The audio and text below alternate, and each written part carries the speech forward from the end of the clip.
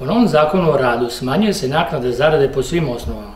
Radnik odlaskom na godišnji odmor, bolovanje prouzrokovano bolešću ili povredom na radu ili van rada, korišćenjem praznika ili plaćenog odsustva dobit će manje novca zbog snižavanja osnovice za obračun naknade zarade. Kako?